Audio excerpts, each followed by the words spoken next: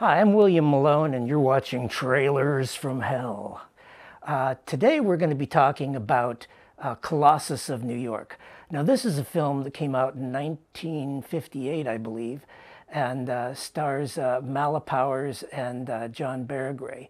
Um, it's a really, it's one of those films that uh, I I like it because of the, the sort of tone that it has. And there's a few films that are not particularly wonderful, but they have this sort of arresting tone that just sort of sticks with you. And this is one of them. And it could be because uh, the score is done by uh, uh, just on a single piano by a guy named Van Cleave, who did a lot of stuff for Twilight Zone. Uh, but let's take a look at the trailer. This is actually, this film's actually a, uh, uh, precursor um, to RoboCop. Uh, in fact, I spoke with Jon Davison, who produced RoboCop, and he said this was a direct uh, descendant of that film.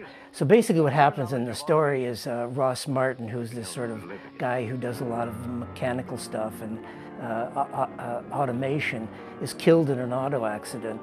And um, his father puts him in, builds this mechanical body. Actually, uh, John Baragrey builds this mechanical body for him and puts his brain in in this, uh, in this body of this robot. And uh, he slowly goes crazy because he doesn't, he's not able to feel anything anymore. But somehow, miraculously, he gets sort of superhuman powers as well. He can vaporize people with his, with his eyeballs, which is pretty fun. But the film does have a really sort of creepy tone.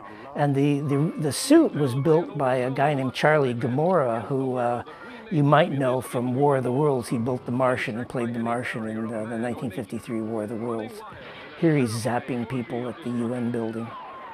Uh, there's some strange editing in here because one of the people is already dead uh, before he starts zapping anybody.